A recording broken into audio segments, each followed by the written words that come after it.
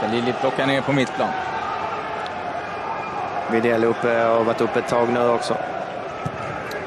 Att vara med på den här typen av situationer!